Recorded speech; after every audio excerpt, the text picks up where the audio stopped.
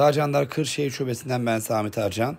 İki parça boyalı diye alıyor. Hasar kaydı da küçük bir miktardı. Aldıktan bir zaman sonra araçta 453 bin lira hasar kaydı çıkıyor arkadaşlar.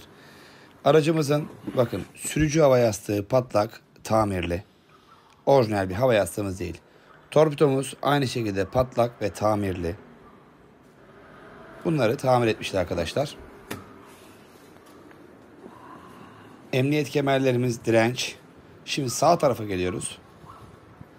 Sağ koltuk hava yastığımız patlak. Tamir etmeden direkt direnç koymuşlar. Bakın direnci size buradan gösteriyorum. Alın. Aktif olmayan bir koltuk hava yastığımız. Emniyet kemerlerimiz de aynı şekilde. Buraya bu şekilde tepmişler koymuşlar arkadaşlar. Bekleyin ki hava yastığı açsın. Perde hava yastığımız aynı şekilde patlak. Perde hava yastığını buraya katlayarak aynı şekilde koymuşlar. Bekleyin buradaki de hava yastığı açsın. Bakın bezi burada yırtık. Bu şekilde duruyor.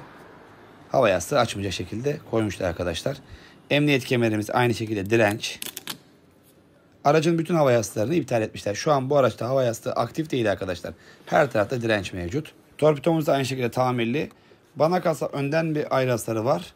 Yandan başka bir hasarı var. Bana kalsa böyle düşünüyorum. Çünkü aynı andaki kazalara benzemiyor. Yani bunların hiçbirini bir ekspertin görmesi, görmemesi imkansız. Bunlara göz yummuş. Kaput ve çamurluk değişmiş. Bunlara da boyalı yazmış. Sağ şaseyi size göstereyim arkadaşlar. Sağ şasede ezik mevcut. Buradaki her şeyi siz görüyorsanız o ekspertin de görmesi lazım. Panel düzeltilmiş. Aracı aldığında hasar kaydı yokmuş. Aldıktan bir zaman sonra araçta 453 bin hasar kaydı çıkıyor. Muhtemelen hasar sorgulaması esnasında arabanın trafik sigortası yoktu. Bu yüzden hasar kaydı çıkmıyor ve bazen de dosya geç kapanıyor arkadaşlar. Kırşehir'den herkese selam olsun diyorum. İyi günler.